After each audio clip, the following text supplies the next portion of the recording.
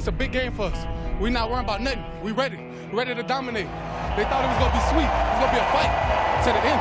We ain't playing. And I mean that. The CF 18s only make the trip from Cold Lake once a year. And when that flyover hits on the first Monday afternoon in September, you know it's Labor Day. So, why is the Labor Day Classic such a big deal here in Alberta? Well, every other province here in the West, they've got their own team. But in Alberta, we're divided right down the middle. 300 clicks separate the two major cities, north and south, and every year bragging rights are on the line Labor Day. This is the game circled on the calendar for football fans in Alberta, and it's been that way for decades.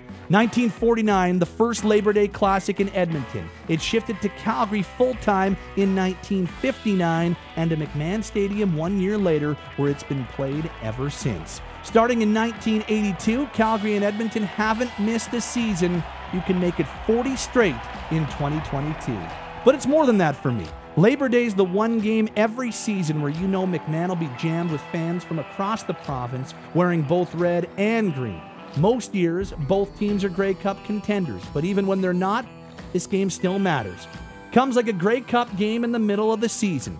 Think back to 2003 with the Stamps in the midst of a painful 5 and 3 campaign. I remember vividly how much that 28-22 win on Labor Day meant. Or how about 1999?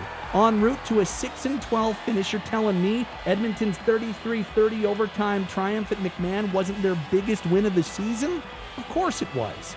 From Warren Moon to Doug Flutie, Gizmo Williams to Allen Pitts, Hugh Campbell to Wally Buono, some of the greatest of all time have made their marks on Labor Day. This is the game. Let those CF 18s fly.